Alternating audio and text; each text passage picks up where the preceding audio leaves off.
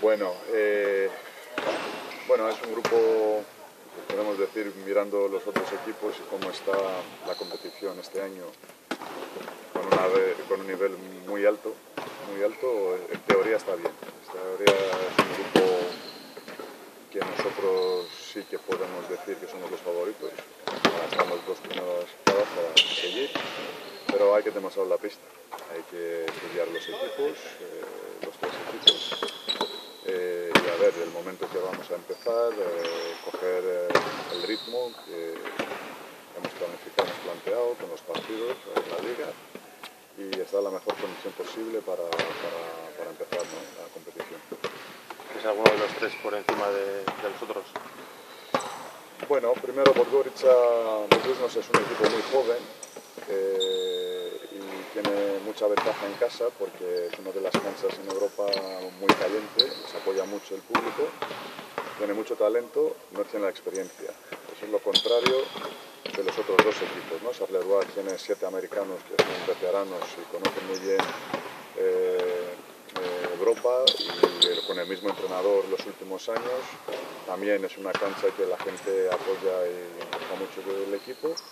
Y Ducoil es un equipo también veterano eh, también tiene unos jugadores con mucha experiencia y nada, yo creo que es muy pronto a ver qué nivel están, pero analizando un poco la plantilla de los jugadores que tienen, eh, es el perfil de los tres, de los tres equipos.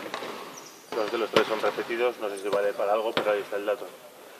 ¿Repetidos de? De Bilbao así que se ha enfrentado Charleroi y Buduk, ¿no? Son victorias. Sí, bueno, eso pasa, eso pasa, no es la primera vez. He pasado por los otros equipos, pero bueno, yo creo que es distinto, ¿no? es diferente. Eh, las situaciones y las plantillas actuales son distintas que el pasado se han, evitado eh, viajes complicados, ¿no? O puede ser el, sí, de Krasnodar o... Uno de lo bueno ¿no? de del sorteo que hemos evitado unos viajes porque hay equipos de Rusia, equipos de, de, esa zona, ¿no? de Báltica, que los viajes la verdad afectan mucho cuando estás en una competición tan, tan competitiva complicada como la nuestra.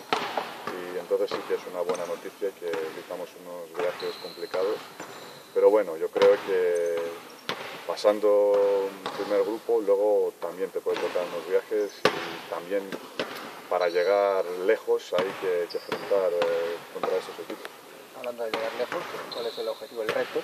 El objetivo es primero pasar, el, pasar primera, la primera ronda, ¿no? el primer grupo y, luego con los cruces que sabemos eh, con quién podemos eh, cruzar luego, a ver, va lo más lejos posible, pasar y en cada partido, en cada eliminatoria, estar fuerte. Y el objetivo es llegar lejos. Lejos puede ser hasta la final, pero bueno, todo eso en teoría. Digo otra vez que tenemos que demostrarlo y creo que tenemos un equipo que va a competir, va a competir a tope, pero este año yo en vez de Eurocup le podía llamar Euroliga 2, porque hay muchos equipos de Euroliga en niveles muy, muy altos, muy altos no hay uno o dos favoritos.